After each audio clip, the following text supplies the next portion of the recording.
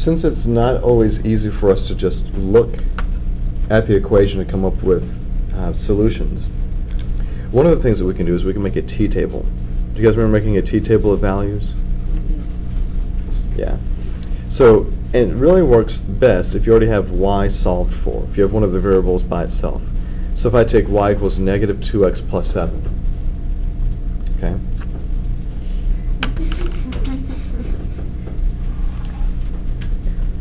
I can just make a table of values like this.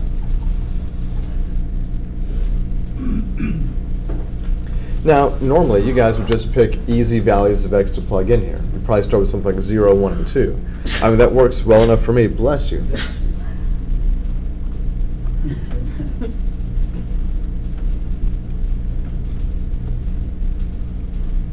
Now, if I have 0, 1, and 2, you're just trying to plug those into this equation and tell me what y equals.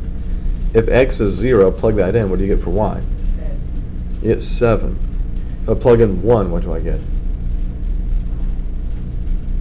I get 5, and if I plug in 2, negative 2 times 2 is negative 4, negative 4 plus 7 is positive 3.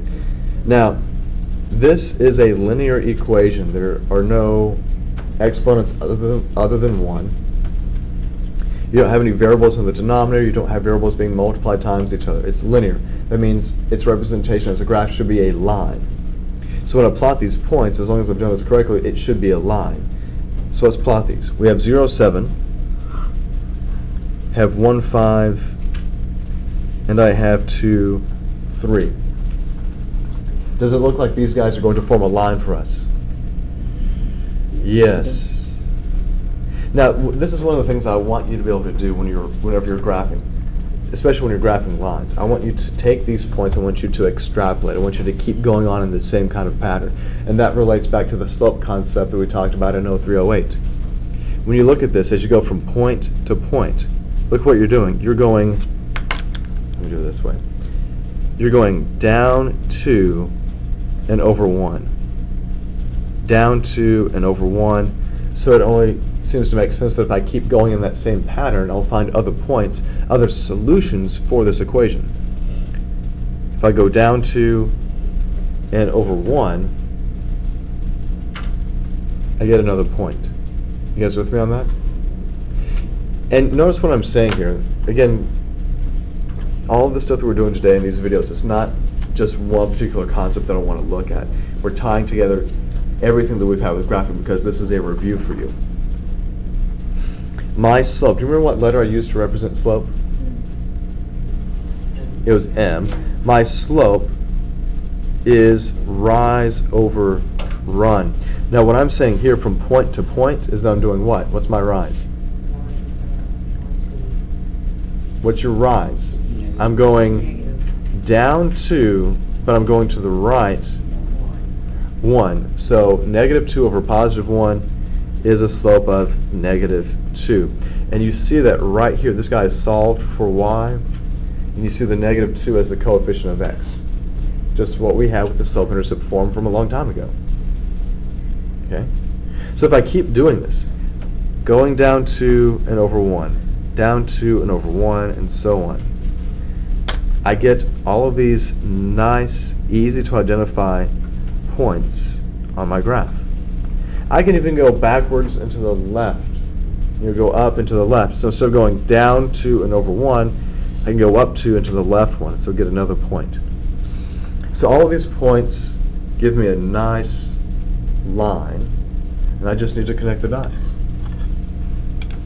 And you know, if you're not sure if some of these points are really where, where they are, if these are really true, uh, let's look at this guy right here. What are the coordinates for this point? Six, negative five. 6, negative 5. So I maintain that if you plug a 6 in right here, you should get negative 5. Well, if you do the scratch work, that's negative 2 times 6 plus 7. That's negative 12 plus 7, and you do get, you get negative 5. So everything matches up.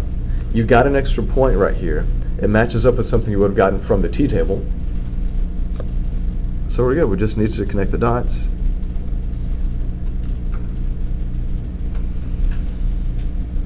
Here's something you need to be aware of whenever you're graphing. When you graph, you don't graph line segments when we're trying to graph lines. To show that we're graphing a line, you put arrows at the end of these lines. If you don't, you will lose points. Are you with me on that? Okay. Now we can easily check this with with a graph, and you see that these guys are exactly the same. You with me on that? Now, something else to remind you guys of, since we are talking about the slope. We talked about intercepts before, right? When we talked about slope, we talked about the slope-intercept form. Okay, and what was the slope-intercept form? Y over B, negative A over B. Well, the slope-intercept form was y equals mx plus b. Okay. And the things that we noted about this is that you have to be solved for y. You have to have y completely by itself. And your m, this coefficient of x, is your slope. And we remember that we look at the slope as being rise over run. That tells you how to move.